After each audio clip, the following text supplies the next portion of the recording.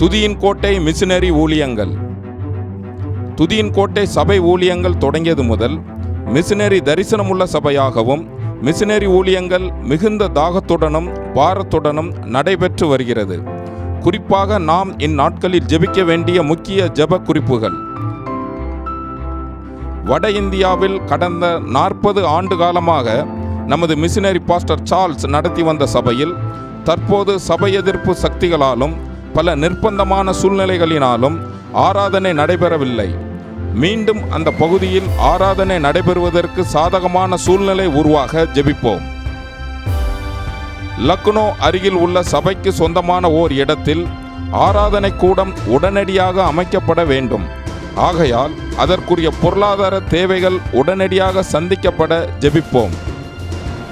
பறந்து இருக்கும் நம் பாரத தேசத்தில் மிஷினரிகளின் தேவை அதிகம் உள்ளது நமது சபையில் இருந்து குறைந்தது பத்து மிஷினரிகள் வருடம் தோறும் அனுப்பப்பட தேவன் தமக்கு சித்தமானவர்களை வட இந்திய மிஷினரிகளாக தெரிந்து கொள்ள ஜெபியுங்கள்.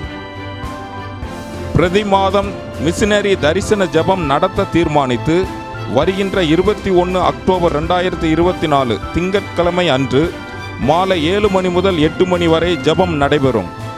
மிஷினரி பாரம் உள்ள அனைவரும் இந்த ஜெபத்தில் வந்து கலந்து கொள்ளும்படி அன்புடன் அழைக்கிறோம். துதியின் கோட்டை சபை தாங்கும் மிஷினரிகளையும் அங்குள்ள ஊழிய தேவைகளையும் உங்களுடைய ஊக்கமான ஜெபத்தினாலும் உதாரத்துவமான காணிக்கையினாலும் தாங்கும்படி அன்புடன் கேட்டுக்கொள்கிறோம்.